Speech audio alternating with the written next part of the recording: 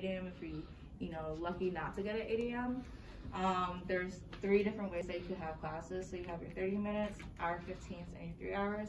30 minutes meet three times a week, hour 15s meet twice, and then the three hours meet once a week. Right, your advisor will reach out to you and be like, okay, so do you like this? Are you more of like the person that learns early in the morning, or you sometimes to wake up? Um, and for those answers, she'll be, he or she will build your schedule.